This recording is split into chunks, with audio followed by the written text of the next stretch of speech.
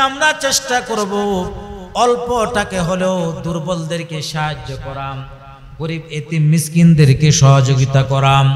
সই বখারির বর্ণনা দুই হাজার আটশত ছিয়ানব্বই নম্বর হাদিসের বর্ণনা। নবীজি বলেন, হাল তুমসরুনা ওয়া তুরজাকুনা ইল্লা বিদুআফাইকুম। তোমরা দুর্বলদের মাধ্যমে রিজিক প্রাপ্ত হও। তোমরা দুর্বলদের মাধ্যমে আল্লাহর পক্ষ থেকে সাহায্য প্রাপ্ত অর্থাৎ দুর্বলদেরকে তোমরা সহযোগিতা করো। তো আল্লাহ পাক রব্বুল আলামিন তোমাদেরকে সাহায্য করবেন।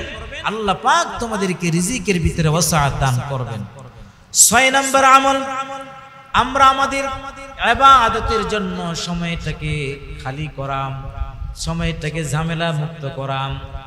কমপক্ষে প্রতিদিন যেন একটু সময়টা এমন হয় যে সময়টা শুধুমাত্র রবের জন্য, আল্লাহর জন্য আমরা সময়টা ব্যয় করব। এমন একটু সময় প্রতিদিন আমরা নেব, কারণ এমন সময়টা যদি আমরা ঝামেলা মুক্ত করে আল্লাহর আবাদতে কাটাই, আল্লাহ পাক কি দিবেন? নবীজি বলেন। তিরমিজি শরীফের দুই হাজার ছয়শত চুয়ান্ন নম্বর হাদিসের বর্ণনা মুসনাদ আহমদের আট হাজার ছয়শত একাশি নম্বর হাদিসের ভিতরে উল্লেখ করা হয়েছে। ইবনে মাজার চার হাজার একশত সাত নম্বর হাদিসের বর্ণনা হাদিসের বর্ণনা করিব হযরত আবু হুরাইরা রাদিয়াল্লাহু তাআলা আনহুম। তিনি বলেন, নবীজি বলেন, ইন্নাল্লাহ তাআলা ইয়াকুলু, ইয়া ইবনা আদম, তাফাররাক লিইবাদাতি আমলাক সাদরাকা গিনান ওয়া আসুদ্দা ফাকরাকা। আল্লাহ পাক রব্বুল আলামিন তার আদম সন্তানদেরকে ডাক দিয়া বলেন, হে আদম সন্তান, তোমরা তোমাদের সময় এটাকে আবাদতের জন্য ফারাক করো আলাদা করো। ঝামেলা মুক্ত করো। আমি আল্লাহ পাক রব্বুল আলামিন তোমাদেরকে নিয়ামত দ্বারাতে আমি আল্লাহ পাক রব্বুল আলামিন ভরপুর করে দিব। ধন সম্পদের মাধ্যমে আমি আল্লাহ পাক তোমাদের যা চাহিদা আছে, সমস্ত চাহিদাগুলো আমি আল্লাহ পূরণ করে দিব, সুবহানাল্লাহ। ওয়া আমি আল্লাহ পাক রব্বুল আলামিন তোমাদের দরিদ্রতাকে দূর করে দিব। ওয়া ইল্লা তাফআল আর যদি আমার ইবাদতের জন্য যদি তোমরা তোমাদের ঝামেলা মুক্ত না করো, সময়টাকে তোমরা ব্যবহার না করো, সময়টাকে খুঁজে বের না করো, তাহলে জেনে রাখো, মালা তুই আদাইকা সুগুলান, আমি তোমাদেরকে আরও কাজ বাড়ায় দিব, আরও ব্যস্ত করে দিব। ওলাম্মা সুদ্দা ফাকরাখা আর আমি আল্লাহ পাক তোমাদের দরিদ্রতাও দূর করব না। তাহলে ধন সম্পদ আর প্রাচুর্যের মালিক যদি আমরা হতে চাই, দরিদ্রতা যদি আমরা দূর করতে চাই, আমরা জামেলা মুক্ত আবাদত করব। আবাদতের ভিতরে কোনো টেনশন থাকা যাবে না। দেখা যায় নামাজের ভিতরে, আর আমার চিন্তা হলো দোকানের দিকে, নামাজের ভিতরে, আবাদতের ভিতরে আমার টেনশন, আমার বন্ধু বৈশা রয়েছে তার কাছে যেতে হবে।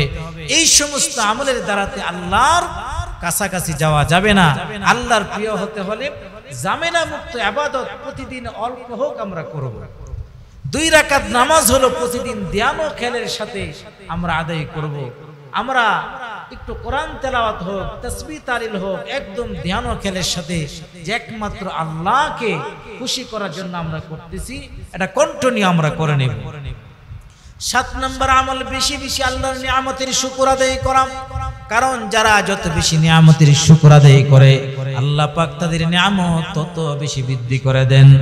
সূরা ইব্রাহিমের সাত নম্বর আল্লাহ পাক রব্বুল আলামিন বলেন, ওয়াইজ তাআযানা রাব্বাকুম লা ইন শাকারতুম লা আযীদান্নাকুম আয়াতের ভিতরে আল্লাহ পাক রব্বুল আলামিন যারা নিয়ামতের শুকর আদায় করে, তাদের নিয়ামত বৃদ্ধি করেন দিবেন বলে আল্লাহ ওয়াদা করেছেন।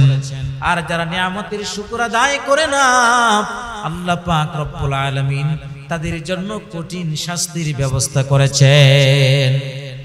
তাহলে আমরা প্রতিনিয়ত শুকর আদায় করব। আল্লাহ পাক রব্বুল আলামিনের শুকর যত বেশি আদায় করব, তত আমরা আল্লাহর পক্ষ থেকে নিয়ামত প্রাপ্ত হব।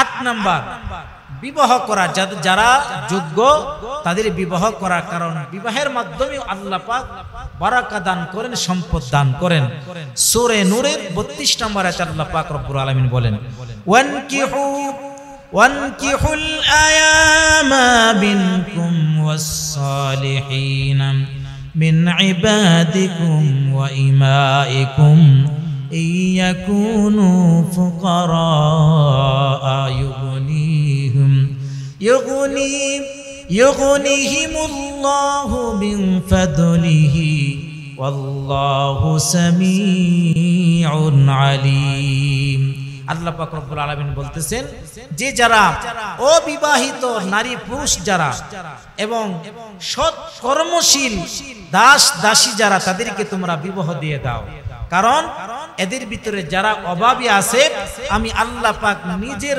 অনুগ্রহে তাদেরকে অভাব দূর করে দিব, ধন সম্পদের মালিক বানায় দিব। তাহলে যারা বিবাহ করেন নাই, টেনশনে আছেন, টেনশনের কোনো কারণ নাই। আল্লাহ কোরআনে নিজেই বলেছেন যে বিবাহের ব্যবস্থা হয়ে যাক, বিবাহ করেন, আল্লাহ পাক ধন সম্পদের ব্যবস্থা আল্লাহ পাক করে দেবেন। নয় নম্বর আমল হলো আল্লাহর কাছে আশ্রয় প্রার্থনা করা, দোয়া করা।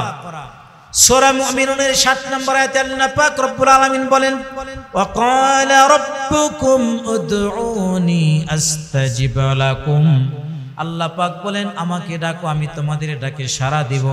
তার মানে হলো যখন আমাদের অভাব অনটন দেখা দেয়, তখন আল্লাহকে আমরা ডাকবো, আল্লাহ পাক আমাদের ডাকে সাড়া দিবেন। এরপরে দশ নম্বর হলো, গুনাহ ত্যাগ করা। গুনাহ আমাদের জীবনে আছে না নাই? কণ্ঠনীয় গুনাহ ত্যাগ করা। আমল কতটুকুন করেছি এটা বিবেচ্য নয়। গুনাহ কতটুকুন পরিহার করেছি, এটা হলো দেখার বিষয়। গুনাহ পরিহার করব, চেষ্টা করব। প্রতিদিন আজকে আমি আমার টাইমটাকে মিলাবো, যখন রাতের বেলা ঘুমাইতে যাব, বালিশে মাথাটাকে আজকে কয়টা গুনাহ করছি। আবার আগামীকাল চিন্তা করব, আজকে তো এই কয়টা গুনাহ করছি, কালকে এর থেকে কিছু বাদ দিব পরের দিন আরও বাদ দিব এইভাবে যখন অভ্যাস যখন হয়ে যাবে, দেখবেন গুণামুক্ত জীবন হয়ে যাবে। আর আল্লাহ পাক রব্বুল আলামিন গুণামুক্ত জীবন গঠনের তৌফিক তাদেরকে দান করবেন, যারা চেষ্টা প্রচেষ্টা করে। এজন্য আমরা আখেরাত থেকে প্রাধান্য দিব, গুনাহ ছেড়ে দেব, নেক আমল বেশি বেশি করব। এই দশটা আমল আমরা কন্টিনিউ করতে থাকব ইনশাল্লাহ আল্লাহ পাক রব্বুল আলামিন আমাদের জীবনে বরকা দান করবেন, আমাদের হায়াতে বরকা দান করবেন। আল্লাহ পাক আমাদের রিজিকে ওয়াসাআত দান